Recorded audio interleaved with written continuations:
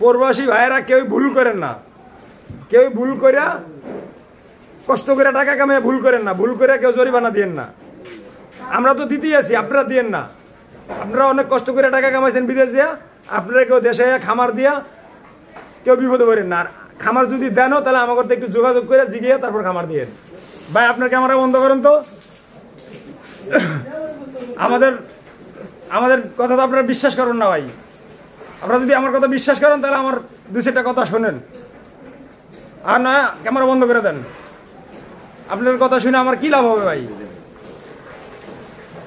কি কারণে? আপনি আপনি ক্যামেরাটা বন্ধ করতে বলছেন আমরা একটু কথা শুনি আপনার দুঃখের না কথাটা ভাই, আমি আপনাদের সাথে কি বলব? কার কথা শুনলে আমরা বিশ্বাস করব বলেন? আপনার কথা শুনলে বিশ্বাস আরে ভাই আমার কথা না শুনে যারা দুই একটা খামারি পালিয়ে গেছে এখান থেকে তাদের কথা শোনেন। আমার কথা শুনে কি লাভ? আমি তো আসি কেন পালাই গেছে লোক? পালিয়ে যাব না কি করব ভাই? যেই ভুসিগুড়ার দাম খানার দাম লোনের কিস্তি দিয়ে তো বেটা কুল পাইতেছে না। দুধ বেচে ষাট টাকা লিটার। তো দুধ ষাট টাকা লিটার বিক্রি করতেছে। তাহলে খাবারের দাম কেমন? খাবারের দাম কিন্তু ষাট টাকা। এক কেজি তিন কেজি খাবার খাওয়াইলে এক কেজি দুধ হয়। তিন কেজি খাবারের দাম হলো একশো আশি টাকা। এক কেজি দুধের দাম হলো ষাট টাকা। তাহলে কি করব? লাভে সুদে টাকা আয় না কিস্তিতে টাকা আয় না। তারা মনে করেন যে আন তুই যে লোনের টাকা, পাওনাদারের দায়ে মানিল খামারি এত শখ করে খামার করল, সেই খামারি কেন আজকে লুকিয়ে আছে, পালিয়ে আছে? তারা তো ভাই বোঝে না, তারা মনে করেন যে দেখা গেছে আগে যারা খামার করে তারা তাদের কাছে আইসা জিগা না। তাদের টাকা আছে, হয়তো দেখা গেছে বিদেশ গেছে, প্রবাসে গেছে, কিছু টাকা পয়সা কামাইছে। তারা আইসা মনে করেন যে এই পট করে পাঁচটা, দশটা গরু কিনা লাইছে। কিনা ব্যবসা শুরু করেছে, ব্যবসা শুরু করে দেয়া যায় লস। অথচ হয়তো মনে করে দূরে থেকে মনে করে যে আমরা এখানে ব্যবসা বাণিজ্য করতেছি, আমরা মনে অনেক সুখে আছি। তারা দেখতেছে এটা। আপনারা নিজেরাই তো বলেন যে আপনার লাভ আছে। আমরা তো লাভ লাভবান তো এক সময় ছিলাম ভাই এখন তো লাভবান নাই। এখন তো মনে করেন করোনার থেকে শুরু করে মনে করেন আমাদের পুরো ভয়াবহ চলতে আছে। এখনও তো অনেক খামারিরা বলে যে লাভ আছে। না এখন লাভ নেই। এখন যে খামারিরা বলে তাদের তারা মনে করেন যে মিথ্যা কথা বলে। কেন মিথ্যে কথা বলে? কারণ তাদের লাভটা তার উপায়টা কি? না, লাভ- এই মিথ্যে কথাটা বলে তার লাভ লাভটা যার আছে তার তো আছে। যার কোটি কোটি টাকা আছে তার লাভ আছে। লাভ তো আমার জন্য না। আমি একশো টাকা ব্যাংকের থেকে আনলে আমার দিতে একশো তিরিশ টাকা। আর কোটিপতিদের? কুড়িপতিতে দিতে হয় মাত্র পাঁচ টাকা। কারণটা কি? তাদের পাঁচ পার্সেন্ট সুদ চার পার্সেন্ট সুদ আমাদের সুদ দিতে হয় পঁচিশ পার্সেন্ট তো আপনারা সেই ব্যাংকের থেকে লোন নেন আমাদের কোথায়? ব্যাংকে দেয় না। কোটি কোটি কোটি টাকা আলার টাকা দেয়। যার টাকা আছে তাকেই টাকা তার- দিবে। তারই টাকা দেয়। যার আছে তার টাকা দেয়। সরকার তো তারই দেয়। সেও মানুষ আপনিও মানুষ। তাহলে প্রবলেমটা কোথায় ভাই? প্রবলেমটা তার তো ঢাকা শহর পাঁচটা বাড়ি আছে। দুইটা গাড়ি আছে। এক জায়গায় বিশ কাটা জায়গা কিনতে পারে, মনে ছেলে বিশ কাটা আবার ভালো হতে ভরতে পারে, তাতে তো প্রবলেম নাই। বিশ কাটা জায়গায় কম দামে কিনিয়া পাঁচ কোটি টাকা লোন করায় লোন করে আবার ওই জায়গা বিক্রি করে দেয়। তারা মনে করেন যে দুই চারটা গরু কিনিয়া খামার দেখায় যে আমরা এটা খামার দিতেছি। দিয়ে মনে করেন যে তারা লোনটা উঠে আর মনে করেন যে খামার আমার কিছুই নেই। আর আমরা তো এটার বিনিব্বার তাদের তো ব্যবসা আছে। এই ব্যবসা না হোক, এই ব্যবসা আছে, এই ব্যবসা না আছে, আরেকটা আছে।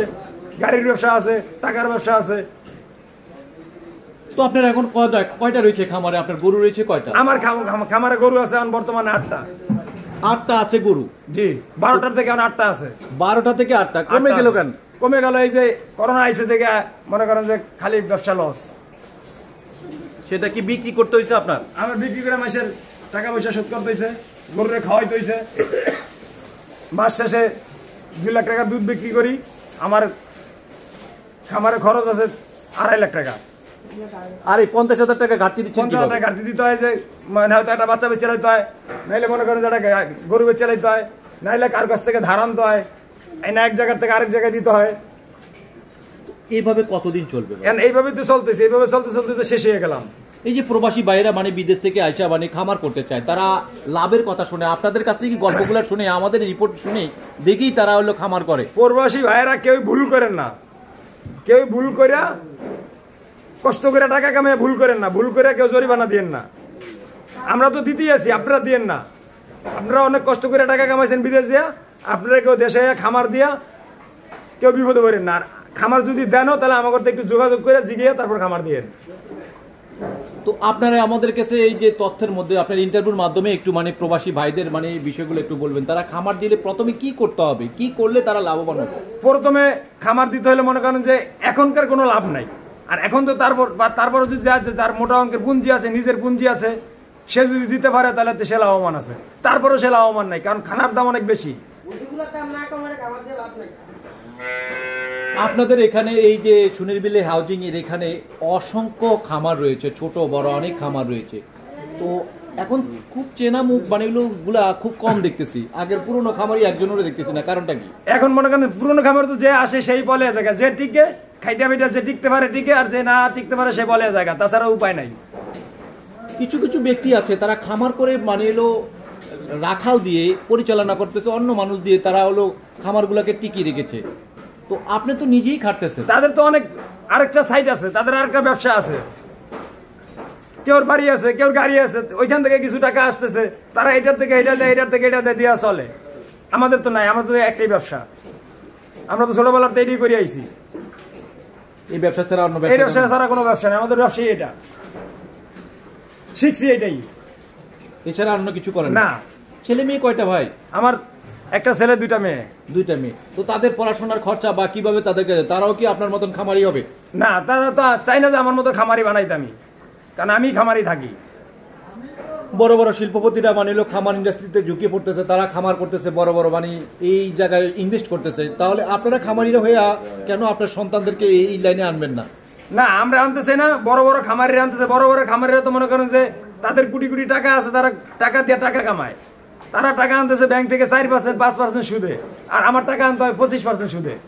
আজ থেকে পাঁচ বছর আগে খামার ইন্ডাস্ট্রির অবস্থান কেমন ছিল? তখন কতটা লাভ ছিলেন? তখন আমি মনে করেন যে লাভবান ছিলাম যতটুকু মনে করেন আমার ছেলে মেয়ে লাভ পরে পরে মনে করেন নিজের সংসার মোটামুটি ঠিক রাখতে পারছি।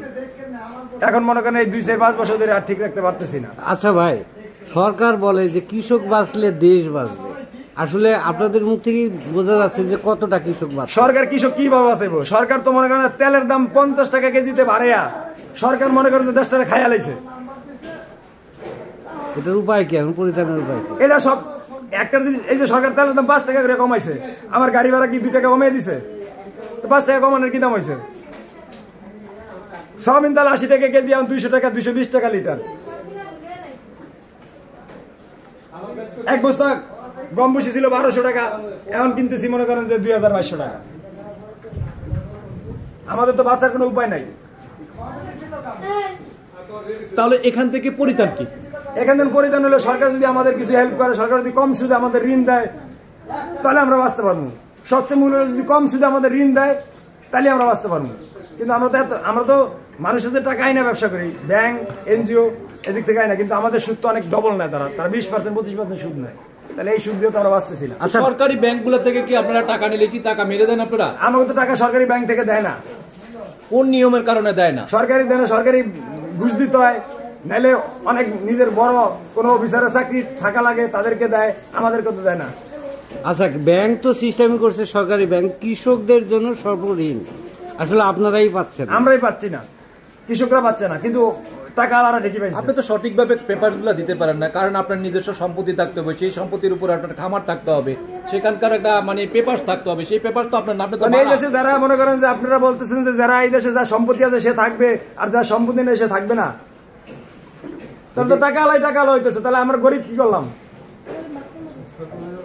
মানে গরিব আরও গরিব হচ্ছে গরিব টাকা আরও টাকা আর হইতেছে। যার গাড়ি একটা আছে পাঁচটা বানাইতেছে। যার পাঁচটা টাকা সব বাড়ি আছে দশটা হইতে আছে। হে বাড়ি ভাড়া হারাইতেছে দুশো করে বাড়ি ভাড়া কম নিলে তো সমস্যা নাই। আর আপনার অবস্থান? আমার অবস্থান তো জিরো। দর্শক, আপনারা শুনলেন মানে খামারির কষ্টের কথাগুলো প্রকাশ এমনভাবেই করলেন। তিনি এলো যে খাবারের দাম যে হারে বাড়তেছে উপরের দিকে বেড়ে উঠতেছে। সেই সুবাদে আমাদের গরুর যে থেকে যে দুধটা আসে, সেই দুধের দামটা কিন্তু বাড়তেছে না। তাহলে আমরা খামারিরা কীভাবে বাঁচবো? আর যার টাকা আছে সেই টাকা দিয়ে টাকা কামাচ্ছে। যার গাড়ি আছে একটা, তার দশটা হচ্ছে, আর যার বাড়ি আছে পাঁচটা, সে দশটা বাড়ির মালিক হচ্ছে। আর যার নাই তার আরও নাই। কীভাবে আসলে কে এই টাকাগুলো চুষে নিয়ে যাচ্ছে? আসলে সত্যিকারের একজন কৃষক যদি বাঁচে, দেশ বাঁচবে, এটা হলো এই দেশের কথা এবং দেশের স্লোগান। কিন্তু সেই স্লোগানের যদি, অবস্থানের যদি এতটাই কোনো অবতি হয় বা এতটাই খারাপের দিকে যায় তাহলে কৃষকদের অবস্থানের দিকে যদি কে তাকাবে তাহলে? সত্যিকারী দর্শক, যারা নীতি নির্ধারক রয়েছে, এই কৃষক দিকের দিকে আসলে এদের নিয়ে যদি আপনারা সংগঠন বা করে অন্তত তাদের সাথে একটু বসে যদি এই ছোটোখাটো যে খামারি রয়েছে ডেরি সেক্টরে যারা রয়েছেন বিত্তবান বা কোটিপতি, তাদেরকে নিয়ে কথা না বলে অন্তত ভবিষ্যতের মানে কথা যদি চিন্তা করি তাদের বিরুদ্ধে। আমি একটু ভাই আপনার কাছে লাস্ট একটা প্রশ্ন করি। তাহলে আপনার একটু ভবিষ্যৎটা কি? আপনার যে সন্তান, আপনার? আমার ভবিষ্যৎ অন্ধকার। আমার ভবিষ্যৎ অন্ধকার। আমার তিনটা ছেলে মেয়ে, আমার তো ভবিষ্যৎ অন্ধকার। লেখাপড়া খরচ দিতে পারতেছি না। এই যে গত মাসে আমার মেয়ের বেতন দিতে পারি নাই। কোচিনের বেতন দিতে ছেলে মাদ্রাসায় বেতন দিতে পারি না এখন পর্যন্ত। মাস শেষ হয়ে গেছে তো ভবিষ্যৎ অন্ধকার। ভবিষ্যৎ চলার মতো কোনো ক্যাপাসিটি নেই। দর্শক, আমরা পরবর্তীতে আরেকটি খামারের মানে ইন্টারভিউতে সেইগুলো একটু জানানোর চেষ্টা করব। আমরা সেই পর্যন্ত আমাদের চ্যানেলগুলোতে চোখ রাখুন এবং আমাদের চ্যানেলটি সাবস্ক্রাইব করুন এবং শেয়ার দিন, বেশি বেশি করে লাইক দিবেন। দর্শক কমেন্টে জানাবেন আসলে পরবর্তীতে আপনারা কী ধরনের ভিডিও দেখতে চান? দর্শক, ভালো থাকুন, সুস্থ থাকুন, আল্লাহ হাফেজ।